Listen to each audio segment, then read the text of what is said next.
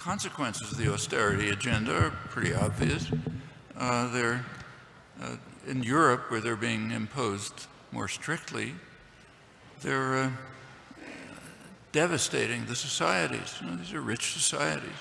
They're increasing debt as anticipated. They're uh, creating a huge number of unemployed.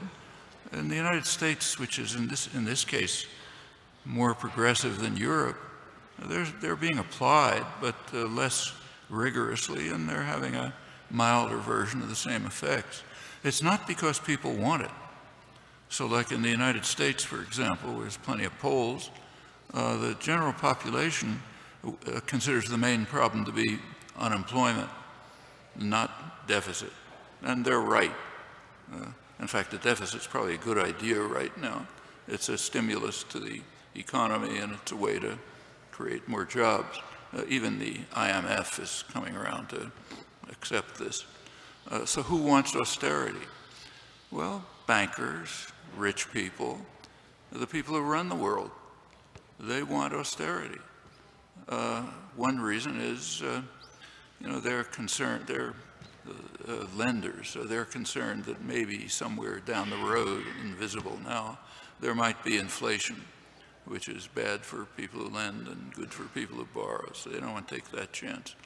Uh, and uh, the other is that uh, the austerity programs have the nice effect of dismantling the hated welfare state. And that's bipartisan in the United States. Uh, Obama's uh, talking about it too. Uh, you gotta go after the poor. In fact, like, take my getting here today.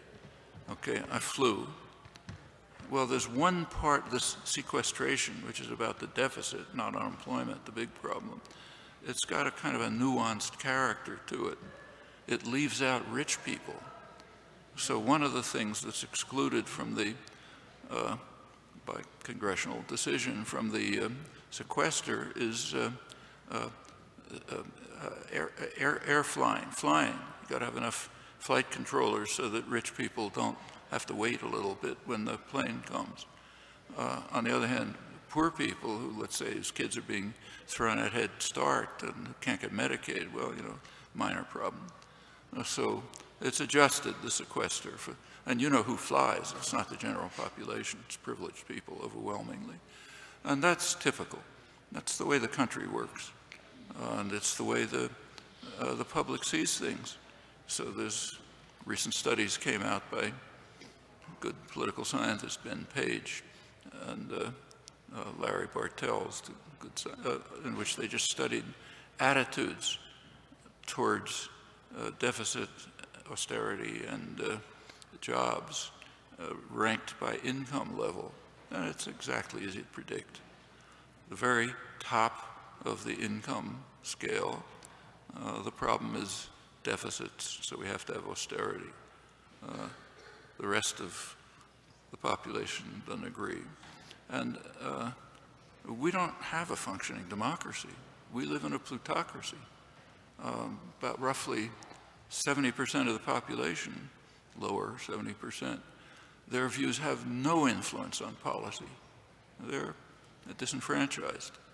And you get more influence as you go up the scale. At the very top, that means, you know, tenth of 1%, you know, basically get what you want. Uh, well, what they want is, uh, they don't care if kids uh, don't have schools or, you know, uh, don't get Medicaid or um, don't have Head Start, uh, they want to make profit. And uh, they want to get rid of this annoying uh, welfare state.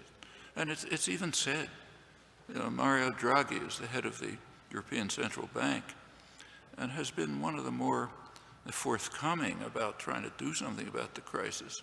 Uh, he had an interview with the Wall Street Journal in which he told the journal that uh, he said the European social contract is dead Social contract means, you know, the welfare state, one of Europe's great contributions to civilization in the past years. They can now kind of dismantle it. He didn't say he wanted that, he just said that's what's happening. And yeah, that's what's happening.